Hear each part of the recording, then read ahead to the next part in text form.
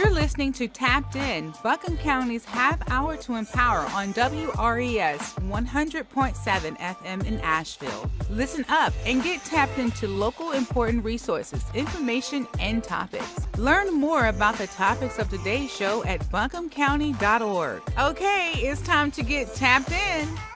Hello, hello, hello, and greetings to all that are listening to my voice.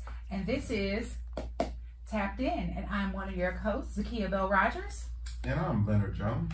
Leonard and I come to you from the Communications and Public Engagement Department of Buncombe County. We are the heroes that wear a cape.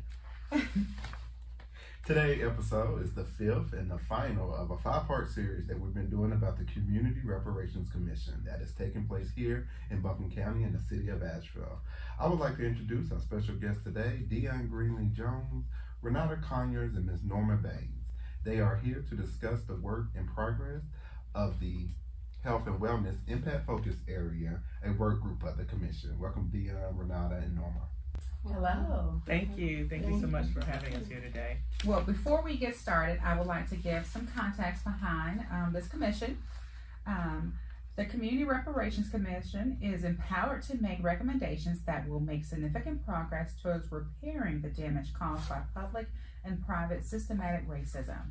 The 25 member commission was appointed, appointments were made by the city and county government impact focus areas, experts, and legacy neighborhoods. Those legacy neighborhoods are Burton Street, East End, Easton Valley Street, Shiloh, South Side, Stumptown, and Asheville Housing Authority, and the heart of Chestnut. The Commission receives ongoing support from the city and county to ensure cohesion throughout. The Commission is a two year term, and this term should be ending between March and April of 2024. The impact focus areas are criminal justice, health and wellness, housing, education, and economic development. All right. So tell us, this is our first question, and anyone can answer. Um, tell us about yourself and why you joined the commission. Why y'all are looking at me? Oh. so, my name is Renata Conyers, and I joined the commission because I work in public health, and I've been in public health for most of my life, for 30 something years. And um, healthcare has always been a part of my life, and it's always going to be around. That is something that is never going to go away. Mm-hmm. That is something that's never met. And if any, if you ever out of job, get in healthcare. Sometimes it's time time consuming, but it's well worth it, mm-hmm. and I love it. Ms. Norma? Uh, my name is Norma Baynes, and I joined the commission because as a registered nurse, I know how important health is, and it's important to for all people to know how how health is and what we can do to stay healthy.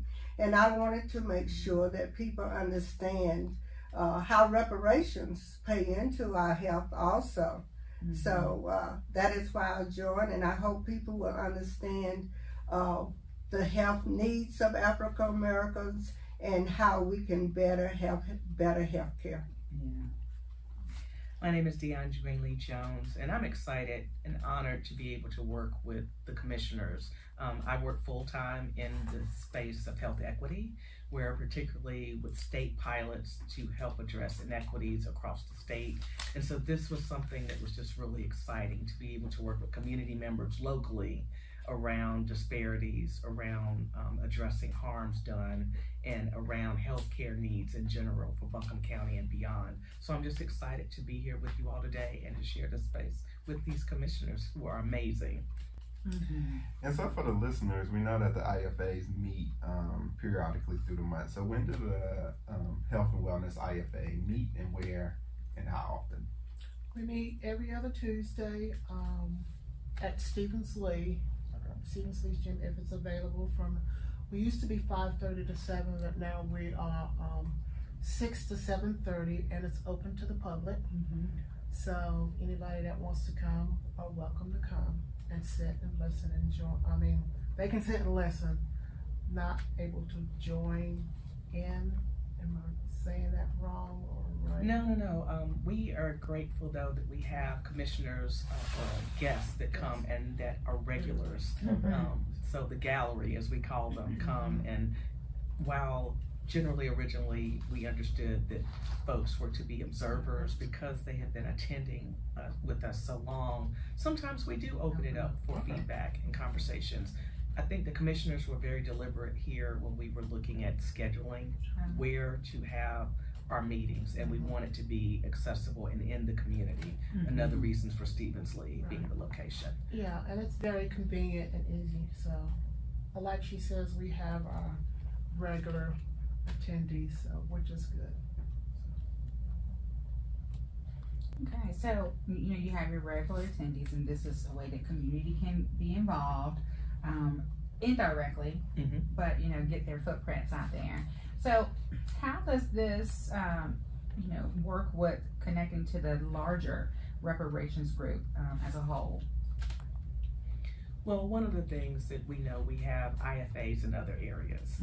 What's been exciting to see is that there's a lot of overlap Mm-hmm. with what um, the commissioners envision as needs when it comes to discussing rep- reparations, greater conversations.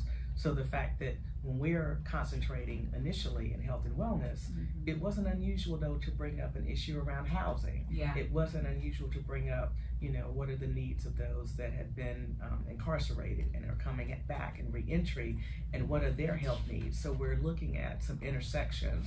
So it's allowed us with other IFAs to attend some of those meetings and have um, cohesive conversations about overall what reparations means and how it's much broader than our IFA.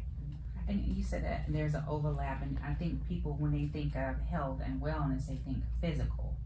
Um, are your, your body parts moving? Are you able to stand up? But there are so many levels to health and wellness. So, what are some things that have stood out to you all um, while diving into the health and wellness part? Well, mental health is very important, and in all aspects, you know, that we have in your housing, economics, mm-hmm. all this plays on your mental health.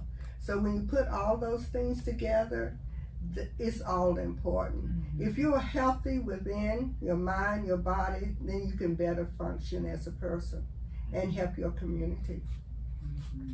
And it's a great point to talk about what health means because now it's convenient. The jargon is social drivers or social determinants of health. We know that that's the 80% outside of the 20% of physical health. Mm-hmm. But again, your housing needs, your education needs, all of these other things that, as Ms. Norma indicated, make you healthy is beyond just the physical health needs, but those social drivers that help address you being healthy as a whole person. Mm-hmm. Um, and, and the intersection between all of the IFAs has really brought that to our attention. And you mentioned social drivers. What exactly are social drivers for the listeners? Again, social drivers of health are all of those things outside that people often don't think about as contributors to a person's whole health. So, again, technically, the statistic is that you look at 20% of one's physical health needs, the other 80% housing, education, healthy food, all of those things that would help you. I mean, just to think about it, transportation. If you don't have transportation to get to your doctor's appointments or your medical appointments, then how does that impact your overall health? So these drivers are really important for us to think about. It's not just about the physical health, your mental health, the status, um, how your children are doing, all of those other things outside of your physical health are what we associate with social determinants or social drivers of health.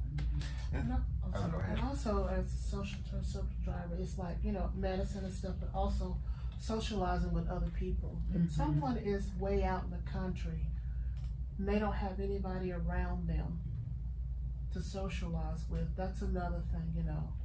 You know, trying to get them closer to somebody Mhm. that they can talk to, go to, you know, if they need help and stuff. Because, you know, nine times out of ten, you know, if you're by yourself, mental health is really, you know, mental health is really bad. It's really, really going down. And, you know, as you can saw, we standing outside talking about somebody walking by and stuff and everything. And so, mental health is another thing that's not going to go away because we know we need we need socialization as um, as we never had before. Mm-hmm. You know. Particularly following COVID. Right. Oh, yeah. So, and I want to say we can still blame COVID, but we can't really blame COVID. So, you know, we can't. So we have to try to come out of that mode and try to. We we can blame COVID some. So it's kind of like a 50-50. Mm-hmm. So yeah. So Yeah, but you know, COVID changed the dynamics of how you Yeah. interact. yes. Yeah. Yes, um, Miss Miss Norma had something. Yeah, I was going to say it's very important when it comes to seniors. So, so many seniors live alone, Oh yeah. you know, and isolation it works on your mental health. And I'm very happy to say that Shiloh has a lot of activities for seniors so they can get out and interact with each other, and the nutrition program that we have. So, this is all part of mental health. Mhm. We all need this, and uh, of course, as a senior, I know that the seniors need it. And so we know with the reparation conversation, especially around health and wellness, um, we have mentioned here around mental health. What are some of the other um, harms that have come to light during our research or over the past year that y'all want to try to address around? Well, initiative? we are keenly aware of um, the lack of access to healthcare. Mhm. We also understand historically, um, at, at certain points when you talked about the number of hospital beds Mhm. for African American patients, you had very few of them. Yes. So even when emergencies happened, there were certain hospitals you could possibly go to or health centers, and then there were others that just didn't have access beds for Mhm. us. So those kind of things are really coming to light. The lack of African American doctors and practitioners, and we know we talk often about the exodus of many medical professionals who might short term come to the area but then leave. We're also looking at the numbers of um, practitioners who historically were here and the fact are even, even fewer here now. Um, it's really pretty disturbing. Well, you know, and, I remember um, hearing some older folks talk um, at one of the reparations meeting, and I can't remember what it, or what the, the main topic was, but one of them said that they used to get their teeth pulled by veterinarians mm-hmm. um, because they didn't have access to dental mm-hmm. services. Mm-hmm. And so, um, uh, how does that play on like families just accessing? Because people don't understand like that's a part of health and wellness. And a lot of times we'll go with tooth pain and go to the emergency room because we don't have an established dentist. Because you know, how does that also play into all of this as well? Well, some of the services have been, and historically have been cost prohibitive. Mm-hmm. So if you couple that with the lack of dentists who are actually seeing African Americans, if you couple that with the fact that you know that people they are we're in rural western we're in rural North Carolina, so how could you even travel to a place that would have practitioners who would see you? All of these are barriers or were barriers and continue to be barriers when we talk about also Ms. Norma um, was amazing in talking about one of our recommendations about no cost or Mhm. how can we look at the accessibility to care when so many services are even today still expensive imagine how they were historically so we've had to try to do this journey back in time to see what the challenges were and unfortunately a lot of those challenges are still today One of the things, and we've all talked about years ago when there were midwives, and and I, my grandmother was a midwife, and a lot of people used to come to her and bring their children, you know, when they were sick. Mm-hmm. So that was some of the ways that they got their medical care, really, uh, by the elders in, in the community and the midwives. She also worked with Dr. Hope, which was uh, one of the Afro American doctors that was here in Asheville. And and I had gone with her many times because I wasn't in the same room with her when she delivered babies. But I got to meet a lot of people that way and and realized, you know, as I got older, what was really going on. They couldn't go to the hospital, so they had their baby at home, and they needed the midwife to do that.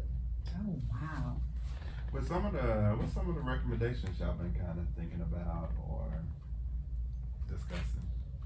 Um, as the recommendation was, um, cause we discussed this last night about, and our main top four was, um, the one, the no cost, um, and the, what, lost, uh, payment lost, Mm-hmm.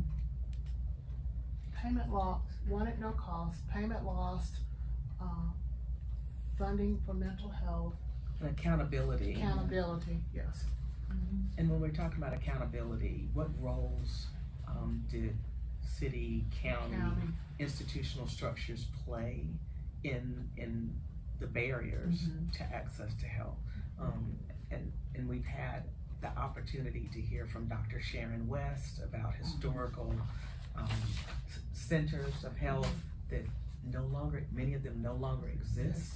Um, the fact that organizations didn't get the kind of subsidies or, or support, um, fiscal support to continue. Um, all of these impacted the historical health of many of our friends and neighbors, fellow African Americans, and continue sometimes today. Um, it's, it's, it's kind of sad the fact that we're in 2023 and it's still, we're still having these same types of fights. And so, you know, um, you were saying the African American hospitals and things of that nature. I did not realize because I'm, I'm not a native like a lot of you all are. And when I moved here, um, it wasn't a hospital anymore. It was a, um, You know, I think it was a funeral home. And uh, Jesse Ray. yeah, Jesse Bray's funeral home, but that was the hospital for people of color, or they call it the colored hospital. And I was amazed. And and I think just like to see it and like, you know, being at at that time being a, a kid and understanding, oh wow, like this is the hospital that people who look like me could only go to and work at and do all these things. And you know, it was really sad when they tore it down and made it into a parking lot. But I think it is so um, amazing that, you know, that even at that time there was such a thing as a hospital for us um, so that we could, uh, you know, it may not have been um, top notch like the other hospital, but they were doing all they could to help the community. And I, I think, uh, you know, we forget those things as well because they disappear. It speaks to the resiliency Mm-hmm. of our people. Yeah. Going back on what you said, I kind of wish when I moved here too, because I'm not a native too, so I'm I'm still a visitor. I call myself a visitor. Been here over forty something years, but I but I, I call myself a visitor. So that when I moved here, it was Ray, uh, just Ray and Allen's. fu- Yes. It was Jesse. Then it went to Ray and Allen's funeral home, and it would be like if there could be pictures, you can find what it was like on the inside before it became a funeral home when it was a hospital yeah. because um, we had Sharon come, like she said, we had Sharon come to our um, as a guest speaker, and she was giving us information on stuff on the hospital and where people can go and everything. And it'd been nice to see pictures. I don't know, maybe that's see what it was look like before. Mm-hmm. Then it became a, a Eugene Ellison's yeah. attorney office, and then that was it. So, Well, I like to say I was a patient there, so I have a memory of that. Um, I remember having my tonsils removed and my grandfather being there with me, you know, and he sit by my bed all night. I can still vision it and he made sure I was okay. Oh. But I was a patient there, so that is one of my memories of the hospital is being there. And I know y'all mentioned um, Dr. Sharon West has come out. Who has been some other community members have come and shared information with our IFA work group? Well, we've had um, some community events where we were in partnership with the Racial Justice Coalition and other entities where we were able to, and it was the first one back in February, and we were excited to propose this for um, when we heard a lot of concern that there wasn't enough community engagement. Mhm. So that gave us an opportunity to have people from all over Buncombe County and actually from beyond come and sit and talk about this. But we've also had attorneys from the city come. Um, we're looking at how we can partner with other IFAs as they continue to also try to innovate. You know, this process is still ongoing, so the, as much information as we can get from experts in the field, we're excited about that. And mind you, that even though this is supposed to end March or April. It'll eventually still be a continuing thing, because stuff like this will never end. Mhm. So. So, just with your experience, what's been some of the challenges or barriers you know experienced in just this process? It's been a year long process. We know we're building a plane as we fly it. So, just share with the community what's been some of the challenges. Miss Renata, would you like to start with this one? Well, you really want to know? so, and I, and I know this is a lot of this is a pet peeve of mine, and and I heard other people say this. If this is supposed to be a reparations thing for African Americans, and the thing is, why do we have to change the name? Mhm. Why do we have to change the name? And that's you know, we shouldn't have to change the name that is meant for us to have just to please someone other someone else because in I, don't know if you want to say it's for the funding or whatever because everything has to do with funding Mm-hmm. so um, if we can't name it African if it can't be named African American for reparations then what then what are we supposed to name it Mm-hmm.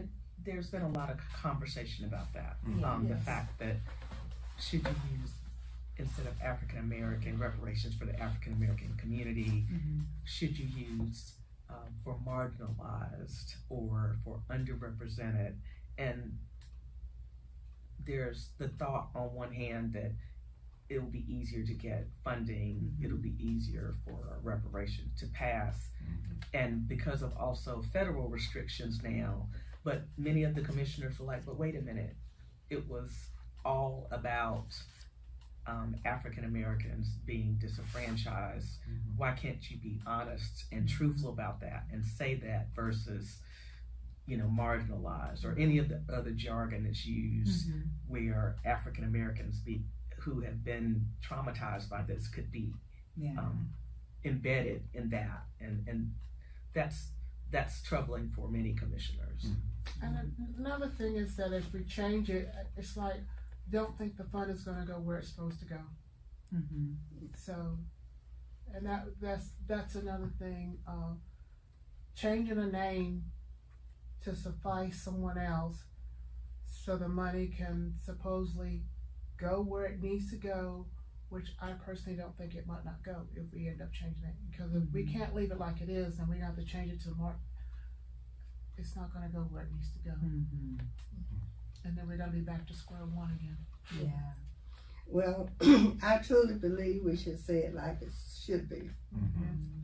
And of course, the United States have given reparation to so many other groups and they said it like it was supposed to be said. Well, what's wrong with saying it now? Mm-hmm. Uh, we are Afro Americans. We our ancestors endured so much, Mhm. so much. The harm is there, and even uh, we are still have the DNA from the from what happened to them. That have that's why we have all these illness and everything else. So we need to say it like it is, and we need reparations for Afro America or Black people. Mhm. And when we think about this, you know, even more than area um, ever, when you're hearing on a daily basis on television stations about changing the narrative Mhm. and whether or not um, African Americans truly endured trauma. I mean, it's ridiculous. And so this is another way of reinforcing.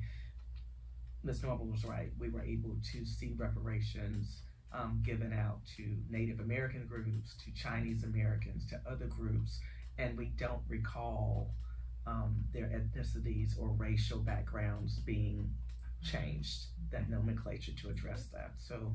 Um, this has been an interesting process. Yeah. So here's an, um, I want to add that one of the other co members wrote, and so she wrote, um, excuse me, um, we have faced challenges and of course getting data uh, requests submitted, completed in timely fashions, not just us, but of course other IFAs. And in fact, um, we're still waiting on a number of requests submitted months ago, last year. also, as we, as a commission, as we we as commissions have not been supported engaging with black communities in deep and meaningful ways Mhm. despite bringing this up, excuse me, early in the process and giving several possibilities how that could, how this could happen. So um, this is another from another one of our members. Oh wow. I hate that we only have 30 minutes because there's so much more, so many more questions we can go through. But I am going to ask each one of you all to leave our listeners with something um, as we get ready to wrap up. And Miss Norma, I'm going to start with you. Well, I would want the listeners to remember that your health is very important and it affects all areas of your life. So stay healthy and hopefully we will uh, keep doing what we have to do to make sure we get reparations. Miss Dionne? Well, this is an important process. Mm-hmm. Um, if we are um, really looking at what the future holds, the fact that Asheville, Buncombe County is one of the few cities, uh, areas in the country addressing this directly. So it's a privilege to be working with this process. It has not always been easy, but um, it's important nonetheless. And so I'm just excited that we have a core group of commissioners that are just really devoted for us to address not just past harms, Mm-hmm. but us moving forward to prevent future harms or the continuing harms from continuing to occur. Mm-hmm. Um. Oh, I mean, we just I, I look at accountability for us, you know, accountability, and um, and then you know here which I'm gonna I'm also trying to include mine and the other our other IFA person. She wrote the process, you know, expect oppositions, you know, build community wide support, you know, um, define what reparation means in our in your local um, com- community, and you know, we just need to also define what really reparation means to us, you know, um, and you know, work through it, you know, and you know, make plans. So. Leonard? And so I ended um, how I have over the past um, five recordings we did on this five part series around reparations is that there is a need for community to support and rally around this commission um, to kind of give input, give feedback, so we can make the best decisions going for our community going forward. And so I'd just like to remind people um, if you're looking for more information around the health and wellness IFA, as they mentioned, it meet every other Tuesday from 6 to 7.30 p.m. and that's at the Stephens-Lee Recreation Center. And I believe that physical address is 30 George Washington Carver Avenue, um, and that's in Asheville, 28806. And so they meet every Tuesday from that 6.30 to 7.30 p.m. However, the larger group also meet every third Monday at the Harrah's Cherokee um, Center downtown Asheville. And we just want to remind everyone that meeting is held at 6 p.m. at the Harrah's Cherokee Center. And also, um, a lot of these meetings have been recorded, especially the at-large meeting, and you can find that information if you visit the City Engagement Hub at publicinput.com backslash AVL reparations. And there you can find out, you can get caught up on what's happening with this initiative, view prior meetings, and um, allow your chance allow you a chance to give feedback. So again, that address to visit the City Engagement Hub is at publicinput.com backslash AVL reparations. And you can find out more information. But again, I hope you enjoyed these um, five uh, recordings around reparation IFAs, and uh, we strongly encourage community to participate. All right, you guys, and that was Professor Leonard Jones with our information. And you know how I wrap this up every time. Um, just recently, I bought a cake, and thinking about that process, you know, for so long, we always take the easy route. You know, we go and we buy the box, and all we have to do is add a couple of things to it here and there. Well, this process is like taking that box cake and putting it to the side and building a cake from scratch. You have to, you find out that it's very difficult. It's not just adding flour, you have to actually sift the flour. Um, it's not just about adding eggs, you actually have to um, put your wet ingredients together before you put your dry ingredients together. There are so many steps and so many processes. And though you do everything you think absolutely perfect into the T, that cake may not turn out right the first time. And so you try again and you try again. So you got to ask yourself, what part of this cake are you willing to be? Are you willing to help sift through the issues so that we can have the best flour for the um, the cake? Are you willing to crack open the hard documents and read through those like that egg and add it into the wet mix? Are you there to lend your strength when everybody else is tired and stir all those ingredients together until we come up with a plan? Or are you willing to stand there when it's hot in the heat from the oven and put that cake in there and make sure that it rises to perfection? We are all one Buncombe. And at the end of the day, if one of us is suffering, all of us are suffering. If one tear falls from one eye, all our eyes are affected. We must understand that we are like trees in a forest, connected by roots, conversations, passing by, and people. So, with that, get started on your cake from scratch. Learn this community, engage with each other, and pour love into each other. You don't have to have everything in common to start a conversation. And until next time, you've been tapped in. Thank you for listening to Tapped In, Buncombe County's half hour to empower, here on WRES 100.7 FM in Asheville. Learn more about today's topics at buncombecounty.org. Otherwise, stay tuned for more great episodes coming up.